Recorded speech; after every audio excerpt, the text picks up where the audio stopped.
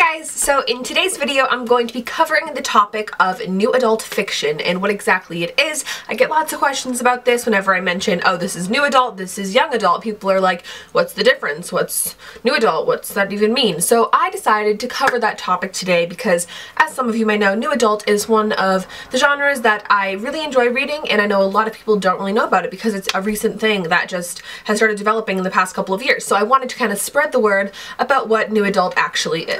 Books consist of characters that are within the age brackets of around 18 to 25. So basically what this is, is early adulthood, college years, stuff like that. So essentially the new adult genre is aimed towards people that are 18 to 25 because the books become more relatable to them personally.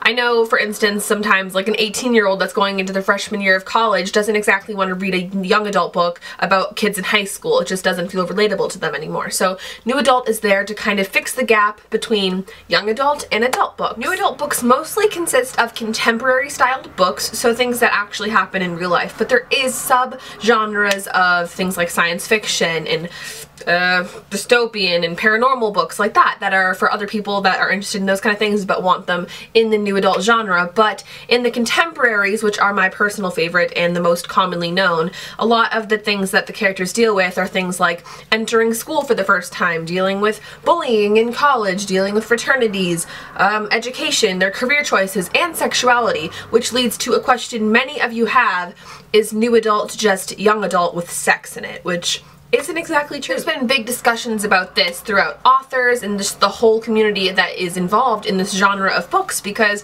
it's really just young adult plots but with sexual content in there as well which I guess isn't exactly true because they are more college level books and take place not during high school so because new adult books are aimed for people that are 18 to 25 I guess adding sexual content is just something authors seem plausible to do because it's something that I mean 18 to 25 year olds are probably interested in. People under 18 usually are not regulated to read books that include sexual content so naturally authors put the sexual content into new adult books where the kids are college level and it seems more approachable, I guess. So by default, it becomes the YA with sex thing, which I guess is understandable. So yeah, essentially they are books that are aimed for people 18 to 25 and yeah, I mean, you can read them at whatever age you are. Obviously, I'm not in the 18 to 25 spectrum, but I do read them um, as a lot of older people do read young adults. So, you know, it's whatever you like, I guess. I just wanted to clear things up because I know so many people are really confused on the topic of new adult books and they don't really know what they are and they're curious. So I just wanted to clear that up for my viewers and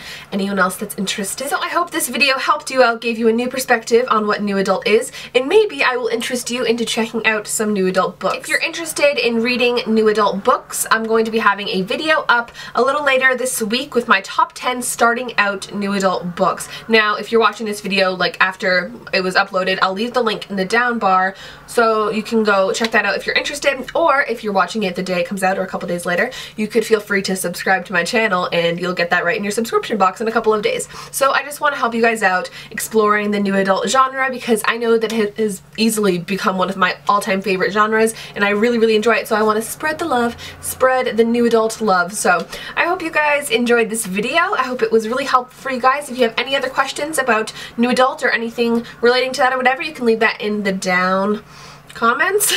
and I will talk to you all very, very soon. I love you all.